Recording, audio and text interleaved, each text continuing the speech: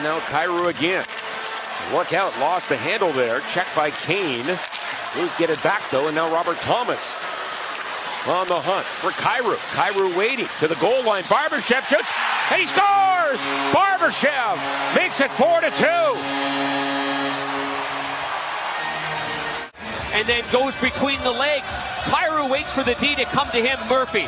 Watch the way the goaltender stick is going to raise there and just move out of position. Terrific read by Barbashev. The goalie thinks it's going to his glove side. That's why his momentum goes that way, and instead it goes underneath him. Now, Barbashev challenged here by Phillips, and they go. Here we go. Barbashev and Phillips. And oh. wild right by Barbashev. Uppercut by Barbashev. Now Phillips and what Barbashev have lost their helmets. And Barbashev knocks him down.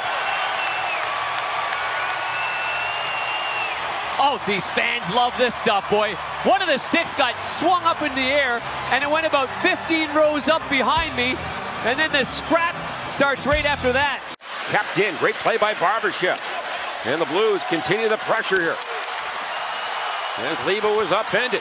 At the line, Parayko wide open. Leddy gets it. Leddy shoots. He scores! Leddy! His first of the year. Go in. Let's go to the other end of the ice right now. And this sequence of events. Big shot by Parayko puts it right on the tape.